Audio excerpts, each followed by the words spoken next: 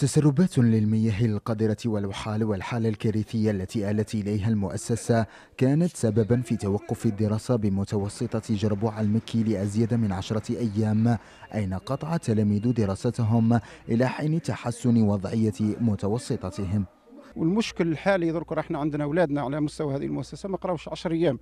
ولعلمكم المؤسسة هذه يقرأوا فيها أبناء المناطق النائية يعني آه، بالغراري هذه 15 كيلومتر قرية برج مهريس هذه حوالي 8 كيلومتر والتشققات والتصدعات اللي راهي متواجدة على الجناح يعني هذا الجناح العلمي يعني كما نقولوا المخابر وذيك وراهي يعني المياه راهي تتسرب ومما أثر ما يقدروش حتى يستعملوا يعني الكهرباء يعني فيه انقطاع وفيه خطر هي صور توثق الحالة المزرية للمؤسسة التي يزاول فيها أزيد من 800 تلميذ دراستهم.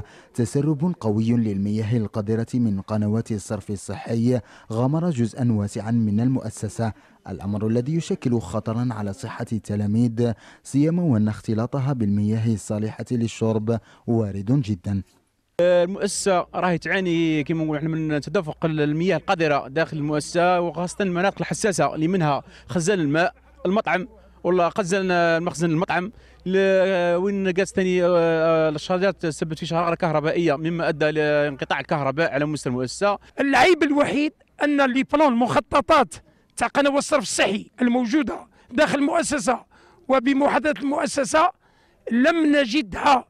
وبالتالي وجدنا صعوبة وقررنا كمجلس بلدي رفقة تحت إشراف السيد رئيس الدائرة أن نقوم بأشغال استعجالية.